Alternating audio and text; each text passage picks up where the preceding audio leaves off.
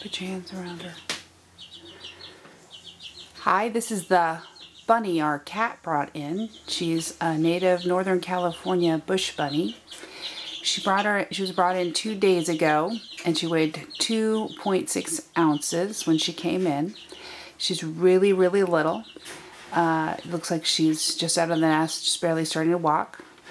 She has all her fur, and her eyes are open, and her ears are up, which implies she's about three weeks old. So she didn't seem uh, injured, but she was pretty traumatized and really, really cold. So we heated her up with a heat lamp. Uh, used a formula of kitten powdered kitten milk and heavy cream mixed with water, which is good for little bunnies. And we've been nursing her. The first day she went down to 2.4 ounces but today we're she's back up to 2.5 ounces. She drank almost half a tablespoon of milk this morning, so we're hoping she can pick up some weight today. She's very, very little. She's walking, but a little wobbly on her legs, probably because she's so young.